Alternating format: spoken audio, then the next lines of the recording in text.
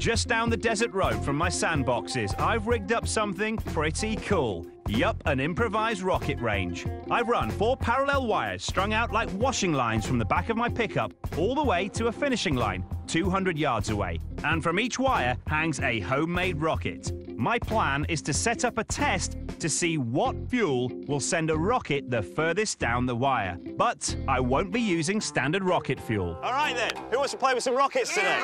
Right, now regular rockets use rocket fuel to burn, all right? That's how they move along, that's how they propel themselves. However, we're replacing rocket fuel with food sources, okay? So we're using food as fuel, because food is energy, we eat food for energy. How are you going to get it to burn? Right. We've mixed these four different food sorts up with a chemical which releases oxygen so they can burn, okay? Does that make sense? So here are the four different food sorts. We've got powdered egg. Powdered egg. All right. we've got protein, the kind you'd have if you go to the gym. All right? Obviously you do.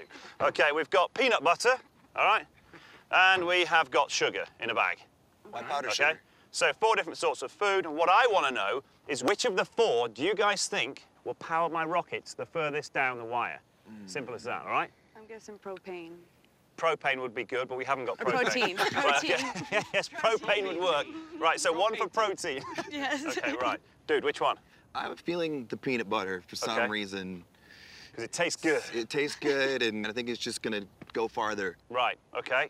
One for peanut butter. Which one do you reckon? I'm thinking the eggs. The eggs. powdered. Right. Powdered egg, one for powdered egg. Which one do you think, dude? I'm going with the peanut butter because Right. it's it's high in calories, it's got carbs, it's got protein. Right. That's what I'm going. Okay, so we have got two for the peanut butter, we have got one for the protein powder, and one for the powdered egg. All right. You guys ready to do this? Let's Yes. do. Yes, please. Come Light on. 'em up. The rear of each rocket is packed with equal amounts of just one of these foodstuffs, mixed up with a chemical which releases oxygen called potassium nitrate.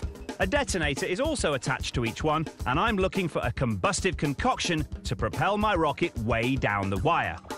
So, which food will fire my rocket the furthest and the fastest? Will it be the peanut butter, the protein powder, powdered egg, or powdered sugar?